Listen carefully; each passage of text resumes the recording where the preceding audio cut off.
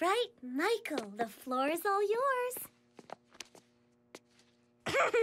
I have to say, Miss Pickleberry, that we've heard some pretty interesting stories today, haven't we? Indeed, we have. Well, you haven't heard anything yet. Attention, classmates!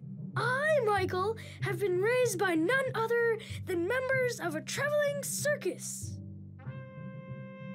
After finding me as a baby, cold and shivering one rainy night in the dark forest of Quaker Oaks, the fat, bearded lady took me in and raised me as her own child.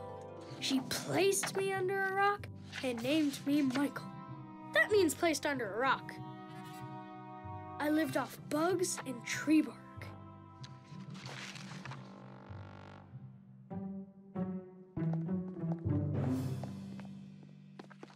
Then we moved here and my mom lost weight and shaved off her beard. The end.